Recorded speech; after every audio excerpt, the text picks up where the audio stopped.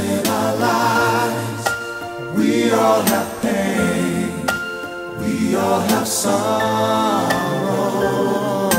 But if we are wise, we know that.